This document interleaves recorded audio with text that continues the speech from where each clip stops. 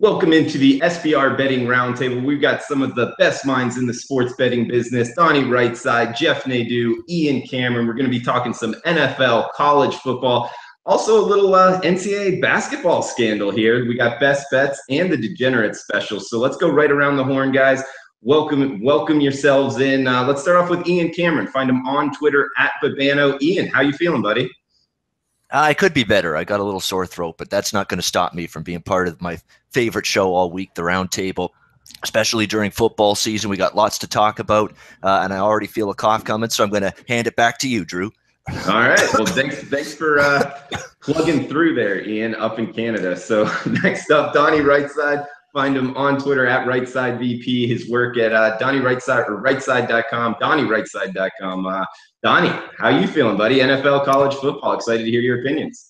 Yeah, definitely. I, I, love this time of the weekend, especially you know this show, twelve thirty p.m. We all have a good time around here. Ian getting, I think Ian's getting a little bit choked up here because hockey's about to start for the season. You know, he's drained on all his energy from stockpiling over the uh, off season there in the summer, and we're ready to get after it. We were on the show last night with Gabe and going over Vegas hockey last week. Amazing how quick these seasons change. Before you know it, guys, we're going to be talking NCAA football, NCAA basketball, NHL hockey, NBA basketball, college football, and pro football and baseball at the same time. Woo! Here we go, baby. Oh, quickly, I got to point out something. Hockey show news here at SBR coming very soon. Hopefully by the end of the week. That's all I can say right now, but something's coming, an announcement's coming. So hold on for that, hockey fans. All right. And last but not least, Jeff Nadeau. Find him on Twitter at Jeff Nadeau. He is a big man on campus. Welcome in, buddy. Hey, Drew. How you doing? Uh, I spent this morning researching Duquesne's men ba- men's basketball. I'm on the route, Drew. I'm trying to go over every team one by one. It's a long, tedious process, but hey, somebody's got to do it. Well, we did a show on Saturday where you didn't sleep. I only slept four hours. You said you were doing some NCAA basketball research. Yes, I'm on Duquesne. I'm in the D's right now, so I have a, I have a, I got to keep it going here. I'm, I'm trying to do a couple a day. So uh, I, uh, yeah, I don't, I don't sleep much. That's just me. That's I don't like to sleep. Um, so I just try to get involved with basketball. But football's been good. 11 of 17 I've hit. So I'm looking forward to keeping it going and getting involved in basketball as well. A lot to do, Drew. All right. Well, 11 of 16, you said? That's pretty damn good, man. 11 of 17. Yeah, yeah, yeah. All right, good stuff. And uh, hey, guys, let's just start off with the NFL. Um, you know, king king of the uh, betting handle anyway, and start off with uh, Donnie Rightside, man. I know you know the NFL as good as anybody. What caught your eye? Taking a look at a couple things over there that caught my eye over the weekend. You know, if I start with the hometown Philadelphia Eagles for myself, a nice gutsy win. They would not have won this football game last year. Lost a lot of players. Came into the game limping. A game Giants team finally getting you know their p's and q's in order. I was really impressed by that. A couple things that I was not impressed by watching the overall game plan by the Los Angeles Chargers. And again, you know, we talk about you know new environments playing. There's no home field advantage for that football team for the rest of the season. They barely can fill up that stadium or even sell it out. Most of them aren't their fans fans, a lot of apathy in that area. It's going to be interesting over the next couple years, just taking a broad stroke here, what's going to happen actually with the Chargers and their fan support and what's going to take place in Los Angeles, but not looking good for them as a franchise right now.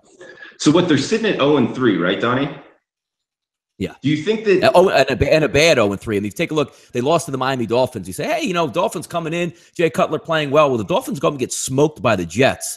You know, the Chargers are playing there, sitting on their home field, going against Kansas City. They could barely even move the football. Philip Rivers is a shell of him, former self about 10 years ago. No explosive weapons on the Chargers right now. I know they have a nice front line. I like their front seven. I think it's decent. They're going to get Denzel Perryman back in a couple weeks to anchor that middle linebacking position. Already losing Verrett down a cornerback. Just It's just not looking good for the Chargers right now. Man, and, do you think that that has something to do with the move, or is this just a, a bad team? Yeah, I, I, didn't have high hopes for the team coming in, but also you're just ripping them out of their fan base, moving them into, you know, Carson, California. There's no home field advantage. They probably don't even have a great headquarters setup or a practice facility just mooching off somebody else. In a couple years, they're not even going to own their own stadium. They're going to be a tenant in their own stadium in a city that probably doesn't want them. And it's hard enough to get people to go out to a ballpark to see, you know, multiple baseball teams. You got a hockey team, multiple basketball teams, college. They're going to be fighting, and it's going to be a hard market for them to penetrate. Absolutely. I mean, that LA market, there's a lot to do there. And I, I forget what the stats were exactly, but it, I believe it was the USC Texas game or, or USC had a game and and they had more fans at that game than the two NFL games combined. So uh, not a good start there for for the NFL in LA. But uh, Jeff, let's bring you in, man. Do you have any other thoughts on the Chargers, or what else caught your eye in the NFL? Yeah, I don't have much on the Chargers. Uh, I, I, do want to talk about the Steelers. Uh, th- this team has looked poor. I mean, they haven't been able to run the football. And Donnie and I talked about it. Uh, not only is Big Ben not look good on the road, but he's not looked good on the road in his entire career. You look at the things going on with this team off the field, and I think, Drew, that was the big thing coming out of uh, last week. Not only the protest, but the, some of the teams that were involved heavily in protest, not coming out for anthems, those teams seemingly had tough days. Several of them, particularly the Pittsburgh Steelers, had a tough day. It's not so much protest. I made it clear where I stand on that.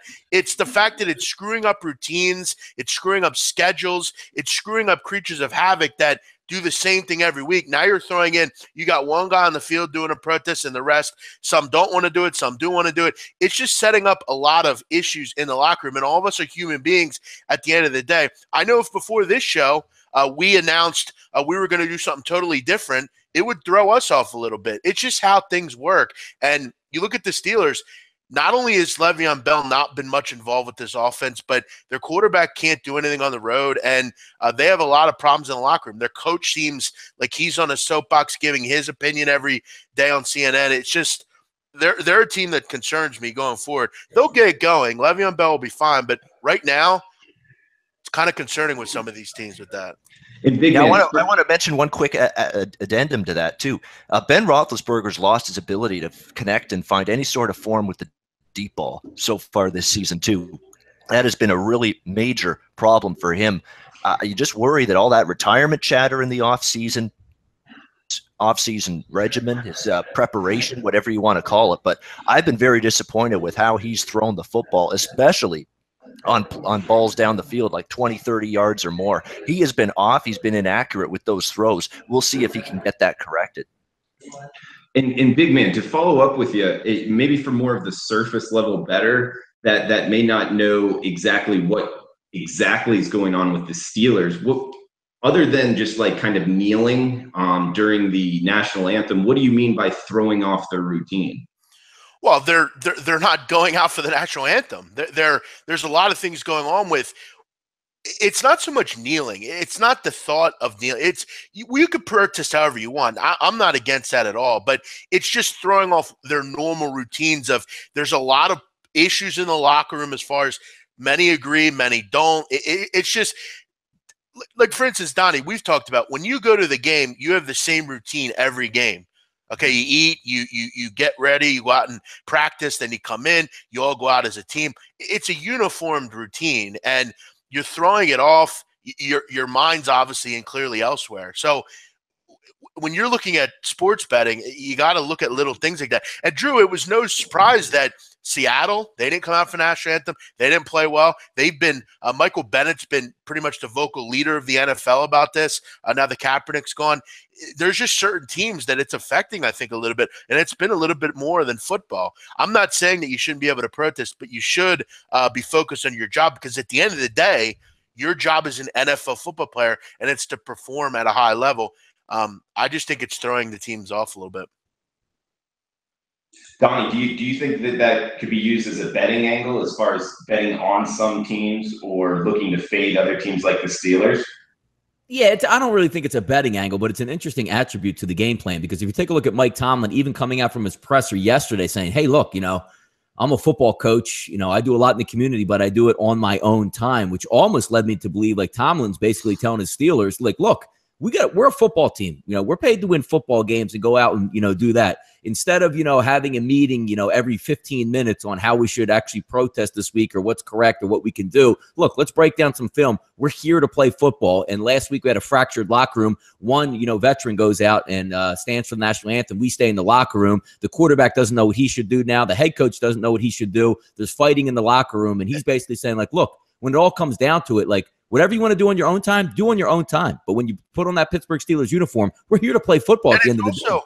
And it's also showing uh, to, to, to, prove that point. If you heard Mike Tomlin, he said, We're all one unit, we all do what we do. So, so why was one person out and one, you know, there's just, it doesn't seem like it's going cohesively. Everyone needs to be on the same page. I give the guy the credit, Villanueva. He has a, a, passion. He, he loves this country and he's going to go out and do that. But it's just throwing off as far as for the team. I just think a lot of, of, of things that they normally do. But I think going forward, I think it'll tone down a little bit. But, um, yeah, yeah, it'll be over. Even like even even uh, what was it? Uh, Elway came out today and basically said like, "Hey, you know, last week was great. You took a knee and uh, you protested. You got your point across. Now it's time to get back to football. And I think the country agrees with that. Nobody, I don't think anybody at this point it reaches a crescendo where you know you start to fall in a deaf ear where who's protesting what. I don't even know what's going on anymore. Why don't we just get back to playing football in the next week or two? You won't hear about these protests very much any longer. As you can tell by the fact I'm lurking in the weeds here, I am sick to death of talking about all this. To be honest with you play football. And so, I agree with Donnie. I don't look at this as a betting angle from uh, from any standpoint. I'd rather be a capper. I don't want to be Dr. Frasier Crane. I don't want to be Dr. Phil. trying to get inside of these guys' damn heads. I don't want to do that. Well, it's nice to see though the NFL stepping up and, and, and, and making their voice heard because their voice was heard. And that's great. And we all go back to the person that started this, Colin Kaepernick. All right, guys, let's get into the actual handicapping of it. Um, take Carolina versus New England. Um, that's a game we're going to break down on this this Sunday schedule. We got uh, what nine, nine and a half, even 5Dimes showing a whacked out line of ten and a half. Two two and one teams, both one and two against the spread year to date. Big man, you want to start us off? Why is uh, New England commanding almost a ten point uh, favorite role here? Uh, because Carolina's not very good. Uh, Cam Newton is really struggling. Uh, this offense is really struggling. They lose one of their best receivers on a team that doesn't have many good receivers. They lose their best receiver. Christian McCaffrey has really been the only person that's done much of anything. And I don't think he could take the whole team on his back and say, you know, I'm going to take us. He's a rookie. He's a guy that, um, you know, by the end of the season is going to be worn out with all the the stuff that he's done. Cam Newton has been poor uh, defensively. Um, you know, their front seven's good, but overall, um, they, their secondary is not very good. They're just most of all, they just can't score. And now they got to go on the road to New England. Uh, it's just a tough spot. I think my Panel can agree here that Carolina has really struggled, and I don't think it's going to get any easier. Cam Newton has had one really good year in the NFL. Other than that, he's been just average to good. Um, Tom Brady, to me, next man up in that offense. They just step in. They just, uh, you know, you look at you lose Edelman. You know, Gronk's been a little hurt, but he steps up. Cooks finally steps up. There's just so many people stepping up. Defensively, I think they still have a little bit of a problem. I expect Carolina to move the ball a little bit. Um, I'm looking to bet overs in New England games from here on out. Uh, this team, I mean, they score seemingly 30 plus points every game and give up in the 20s. I'm looking more along the lines of, of over here, but I think New England covers as well. Yeah, I'll piggyback off you. Carolina, New England. I mean, I don't get much out of this football game. I'm probably going to stay far away from it. Eight, nine, ten, wherever it ends up. If it take goes up to ten points, Jeff, we're probably looking at you. Really would have to lean with Carolina, even how bad they played on offense, because right now it doesn't look like New England, defensive wise, is that good of a football team. But if you want to counter that and say, well, if New England's defense isn't very good, take a look at the Carolina offense. Maybe down Kelvin Benjamin this weekend. Obviously relying on Funchess, no structured tight end over the middle. We'll see if they get Kalil back, which is an interesting cog that they need from the center perspective. And you're not just going to go out in the NFL and just try to run the football and beat the New England Patriots. You're going to have to throw the ball. Right now, Cam Newton just can't do that. But in the NFL, it's hard just to win football games. You saw that last week where Houston went up and damn near beat and probably should have beat the New England Patriots, getting about 13, 13 and a half points. This one obviously closing a little bit less but if you have to make a play on this game, Jeff, you're right. I'm not going to lean on Carolina at this point here. Give me New England. I think they can win the game by 10 points, but we'll see I, as it goes later in the week with some injury up. I mean, you look at Carolina. I mean, they, have struggled to move the football. I mean, they're only scoring 15 points a game, but you look at against you know the defenses they've played. I mean, Buffalo's a great defense. San Francisco's pretty good as well. Uh, New Orleans, you only scored 13 points, which is concerning. But you know, if they can get into that 13 to 20 point range, Donnie, I think this game's going to go over. I mean, New England, I mean, New England's going to attack that secondary, and we all know Carolina has a problem in the secondary. I, I think this is a 34, you know, 20 type of game. You know, th- 35, you know, 17. I think this gets up and over that 50 point mark at, at, at where we're at here. It's just going to really hamper on can Carolina score points. I think they can here. I think they're good enough. They're, they're not great, but this is mostly going to be New England doing all this. I think we have to talk about what New England did last year to relate to what's going to happen to them throughout this year. Because last year, New England in winning the Super Bowl and for being as public and popular a team as they are in the betting markets, they had one of the point spread excellent seasons you'll ever imagine. 16 and 3 last year were the New England Patriots against the spread, regular season and playoffs combined. That's not supposed to happen for a team that's as public, as popular, and as dominated as they are among the betting masses. And obviously, the books are are forced basically to make an adjustment toward the New England Patriots, and that's already showing signs. I mean, they're one and two against the spread, but I got some massive concerns about what I think now could be a very, very flawed New England football team. I mean, the offense has been good at, at, at, in times this year. They still miss Julian Edelman. They're still trying to work around that. The defense has been a massive problem. Matt Patricia's defense has been not just bad, they've been horrendous. I mean, you look at some of these numbers for their defense 461 total yards per game allowed. That's dead last in the NFL. 5.1 yards per rush, 130.3 yards per game allowed on the ground. That's 31st and 26th in the NFL against the pass. They're allowing 330 yards per game, 8.8 yards per pass. Those rank 30th or worse in the NFL. Those are horrendous numbers on the defensive side of the football. And who did they play in their first three games? Alex Smith, okay, solid quarterback, but not elite. Drew Brees, good quarterback, but struggled mightily those first two games. And Deshaun yeah, Watson, but- rookie quarterback, making his first ever start on the road in a tough environment. And the New England defense has just been picked apart. And that's a concern because of the fact that this is an overvalued commodity. And if you're not getting stops on the defensive end, that's a concern. I want no part of laying the points here with New England. But the problem on the other uh, end of this spectrum is Carolina and their putrid offense, which is just an absolute mess right now. Uh, Cam Newton is not getting time to throw the ball, and when he is, uh, he's not accurate with the ball. They missed the tight end, Greg Olsen. Uh, Benjamin now injured. Who are the weapons that Cam Newton's going to use to throw the football to uh, to make this offense go? I don't know if they're they're going to be able to get it going. I think New England's defense is vulnerable, but damn, why is this the week they're playing Carolina? Why? Why? Because I, I don't know if Carolina is going to have a boatload of success offensively either. They're a mess. Hey guys, let, let me jump in here. Is the mic all right right now? Yes, there we go. All right, Woo! all right. We hear you. Yeah, yeah. with the fix here. So, uh, Jeff, you, go ahead, buddy. Yeah, what you, you have on this game? Yeah, you would think, Ian, and I, you make good points. You would think though the defense will, you know, kind of even out a little bit. The, the good point is though I mean, they have the best offense in the league. So I mean, they, again, they're they're they're in a group where you would expect come playoff time, you know, they're they're going to be at home. They're they're going to that's going to even out a little bit. I mean, even last year, I mean, they their defense wasn't very good. I mean. The good thing is nowadays in the NFL, there aren't a lot of great offenses, really. I mean, I think that's one thing you can hang your hat on. Plus, you look at their division. You're dealing with Jay Cutler, the Jets, and Buffalo, who um, can't move the ball either. No one in their division is, really concerning from an offensive standpoint. But I agree. I mean, Patricia's got to be better. I mean, he comes across as this really smart, great coach. Uh, he's got to be better uh, defensively. And Ian's right. I mean, you know, I, I, will say this: Drew Brees is great, as we know, and um, Alex Smith looks good as well. But what was your, you know, how did you give up 33 points to Houston? I mean, at home uh, gets got they have to be better on that. Side. Yeah, let's put this in perspective with New England and their struggles here through three games. They nearly lost two straight home games in a row at Gillette Stadium for the first time since 2006. And if not for a pass that should have been picked off in the end zone by Houston, went right through his hands and right into the hands of Chris Hogan for that game-winning touchdown.